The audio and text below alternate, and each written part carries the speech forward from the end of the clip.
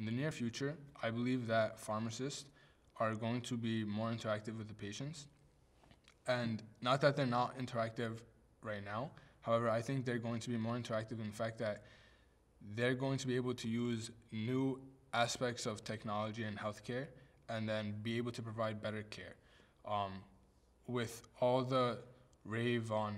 artificial, on artificial intelligence and being able to access databases and looking at new data and trends and research, I believe that pharmacists are going to be able to use that information and then help provide better care to patients that come into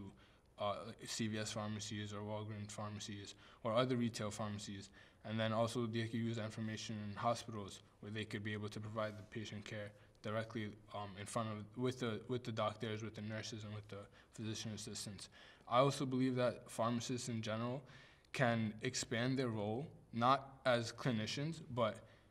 as non-traditional roles in, in let's say in public health sectors. So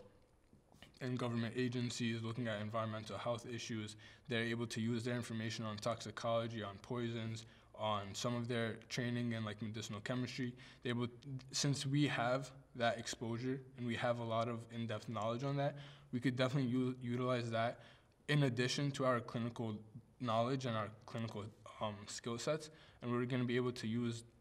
that information and take it into a patient care and transition it into a patient care centered role.